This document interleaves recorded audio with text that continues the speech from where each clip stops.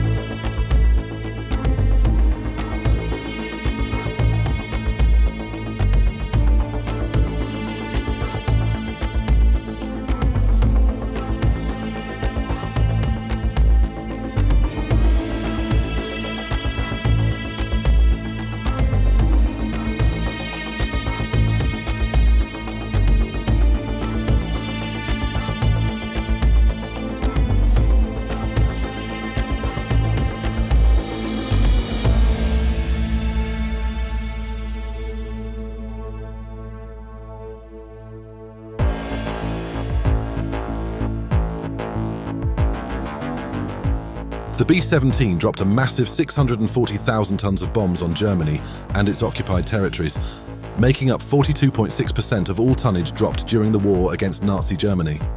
The American bomber began operations with the RAF in 1941 when 20 B-17Cs were acquired and started bombing in July.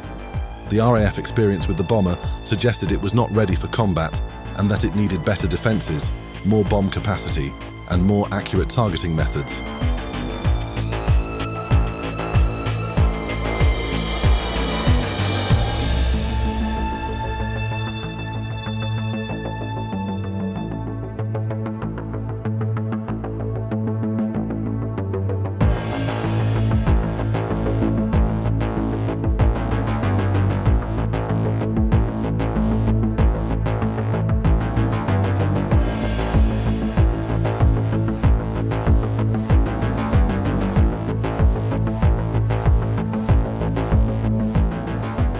The United States Army Air Force began building up a bombing force in Europe soon after entering the war, with B-17Es and Fs demonstrating a good degree of success that would show the British how capable the bombers were over Europe. The combined bomber offensive by British and American bomber commands by 1943 proved to be effective, essentially the British bombing at night and the Americans by day. What follows is a montage of images remembering the B-17 and its decisive role in the European theatre along with details of some of the most significant operations carried out by B-17 crews.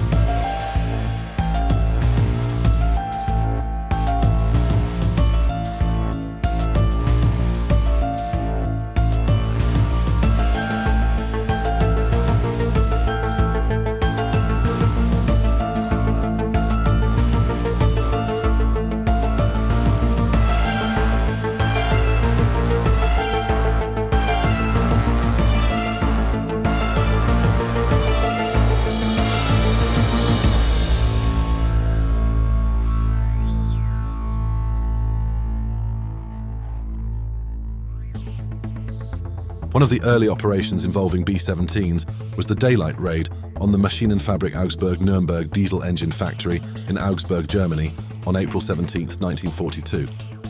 This mission was notable for its long range and the fact that it was carried out at low altitude. It demonstrated the potential and the risks of daylight precision bombing.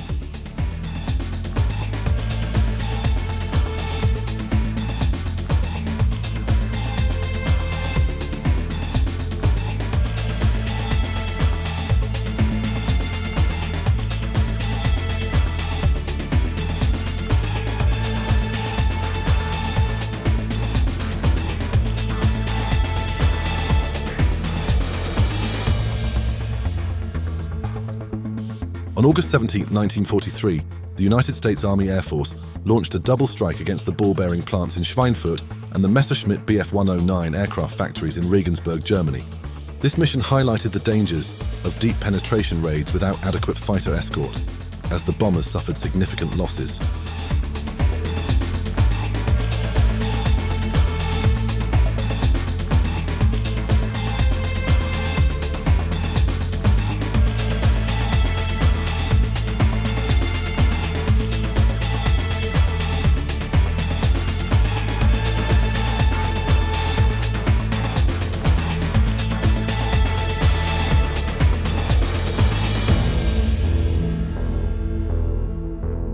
Known as Black Thursday. The second raid on Schweinfurt on October 14, 1943, was a critical point in the air war over Europe. The United States Army Air Force suffered heavy losses, with 60 bombers shot down and hundreds of airmen killed or captured. This mission led to a temporary halt of daylight strategic bombing until long-range fighter escorts could be provided.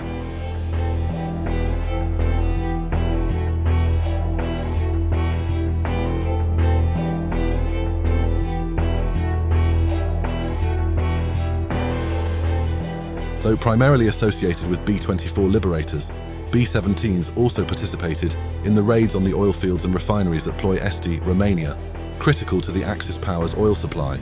The most famous of these, Operation Tidal Wave on August 1, 1943, was a low-level raid that resulted in heavy losses, but underscored the Allies' commitment to targeting Axis oil production.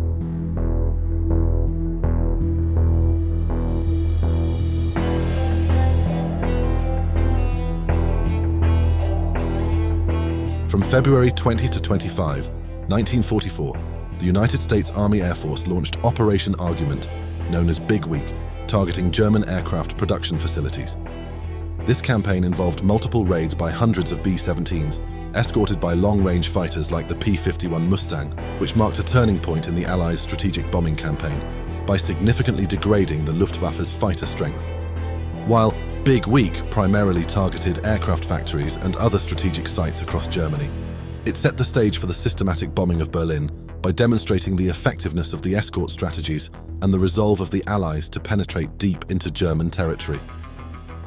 The raids on Berlin can be seen as a direct continuation of this effort, with the city being attacked repeatedly in the following months.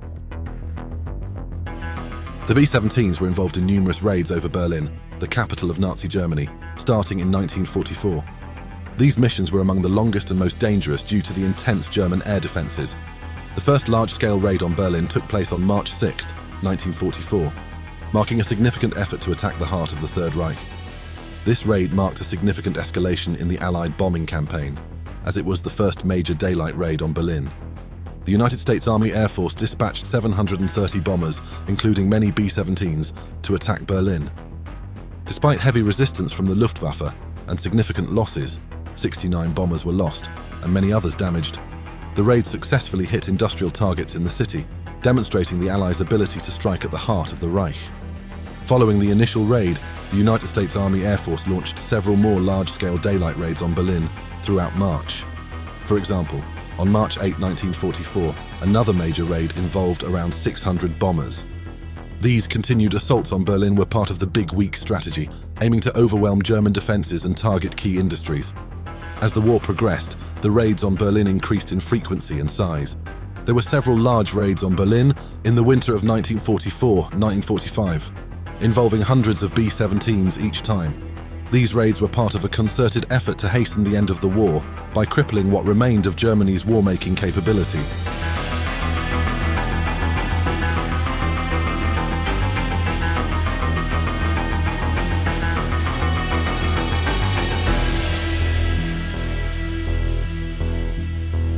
B-17s participated in Operation Crossbow, aimed at disrupting the German V-weapon program. They targeted launch sites, production facilities, and storage depots associated with the V-1 flying bomb and V-2 rocket. These missions were critical in reducing the impact of these weapons on Allied cities and troops. While the initial raid on the German rocket research facility at Peenemünde occurred on the night of the 17th and 18th of August 1943, it set the stage for continued attacks against V-weapon sites throughout 1944. These facilities were a primary target because they were central to the development and testing of the V-2 rocket. Throughout the spring and summer of 1944, numerous raids targeted the Pas-de-Calais area, where the Germans had constructed launch sites for the V-1 flying bombs aimed at southern England.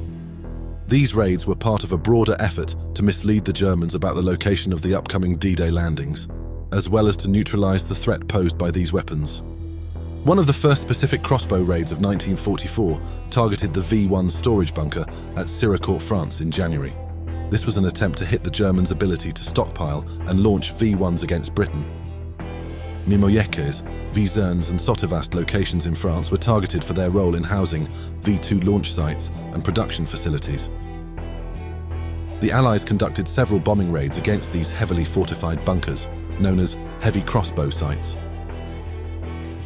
La Coupole, also known as the Wizernes Blockhouse, was a massive underground military complex designed to be a V-2 rocket launch site and was targeted by Allied bombers in July 1944. The site's construction was heavily disrupted by these bombings, significantly delaying its operational capability. The Walcheren raid was part of the efforts to destroy the launch and control sites for the V weapons along the coast of the occupied Netherlands, aiming to prevent their use against Antwerp a crucial port for Allied supplies following its liberation.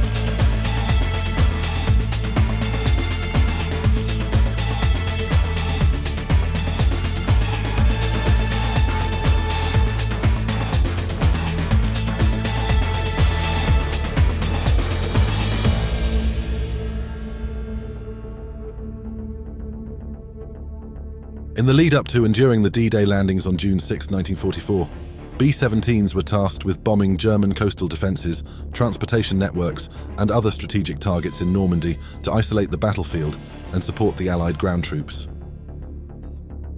The strategic bombing of German oil production and distribution facilities became a priority for the Allied air forces.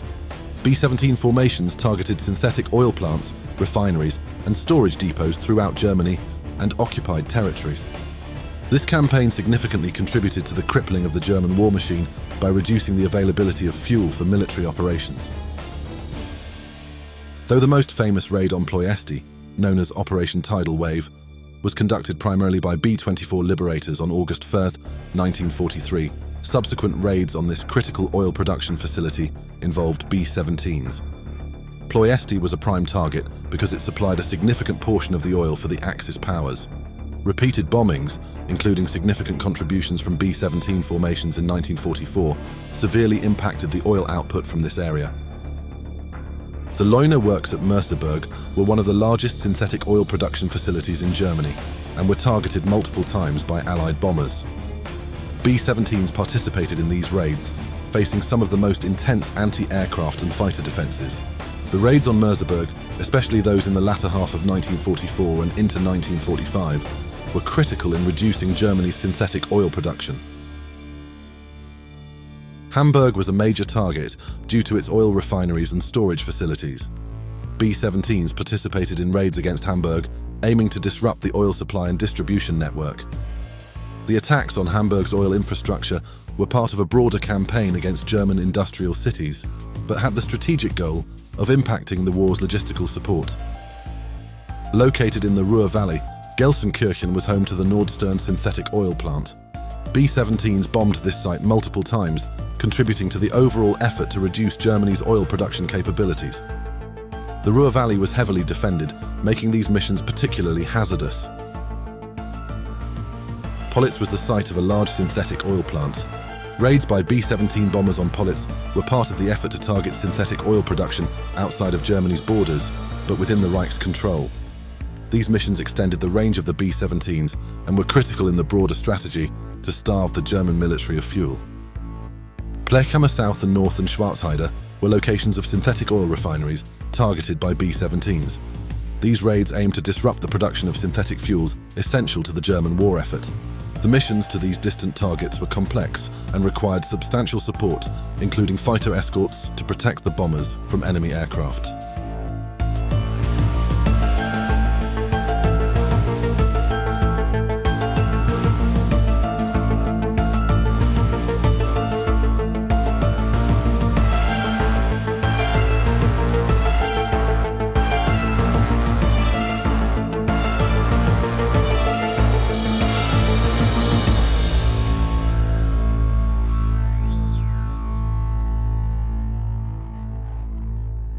During the German Ardennes offensive in December 1944, bad weather initially grounded Allied air forces. However, when the weather cleared, B-17s and other bombers were instrumental in attacking German troop concentrations, supply dumps, and transportation links, helping to stall and eventually repel the offensive. While more associated with the British Royal Air Force, American B-17s also took part in the controversial and devastating bombing of Dresden in February 1945. These raids created a massive firestorm in the city, leading to significant civilian casualties and raising ethical questions about the strategic bombing campaign. In support of the Allied airborne Operation Market Garden, B-17s conducted bombing missions against German positions and transportation networks in the Netherlands. Though the overall operation failed to achieve its objectives, the strategic bombing was crucial for the attempted advance. Throughout the war, B-17s were tasked with the destruction of railway yards, bridges, and other components of the German transportation network. These missions aimed to cripple the German military's ability to move troops and supplies, significantly impacting their operational capabilities. Just after the D-Day landings, Allied forces targeted the rail yards in St-Lo to disrupt German movements and reinforcements to the Normandy front. This was part of a broader campaign to isolate the battlefield and support the Allied invasion of Normandy. The bombing of railway facilities in Brest was part of the Allied efforts to capture this crucial port. The raids aimed to prevent German reinforcements and supplies from reaching the defending forces, facilitating the port's eventual capture by Allied ground troops. Repeatedly targeted throughout the war, Hamm was one of the most important railway hubs in Germany, linking the Ruhr industrial area with the rest of the country. Its yards were hit numerous times, with one of the most significant raids occurring on March 22, 1944 severely disrupting German rail traffic. The massive rail yards in Cologne were a frequent target for Allied bombers, given the city's role as a key transportation and logistics hub in Western Germany. Raids, such as the one on May 28, 1944, aimed to cripple the movement of German military forces and supplies. Munich's railway yards were essential for moving equipment and troops to the southern front lines. The raids, including a significant attack on July 12, 1944, were part of the strategic effort to paralyze German military transportation capabilities. The German capital's rail infrastructure was a strategic target for the Allies, aiming to disrupt the heart of the Nazi logistical network. Multiple raids were conducted against Berlin's marshalling yards, contributing to the overall degradation of the German war effort. The bombing of Dresden is one of the most controversial raids of World War II, due in part to the significant civilian casualties. However, from a military perspective, the Allies targeted Dresden's rail yards and transportation facilities to hinder the movement of German troops to the Eastern Front. As a major rail hub in the Reich, Vienna's rail yards and oil refineries were targeted repeatedly by Allied bombers. Raids, such as those in March 1945, aimed to disrupt the transport of troops and resources, as well as to impact Germany's dwindling oil supply. The Brenner Pass, a critical rail link between Italy and Germany, was targeted by Allied bombers to cut off Germany's access to Italian resources and troops. These raids were part of a broader strategy to isolate Germany from its Axis partners.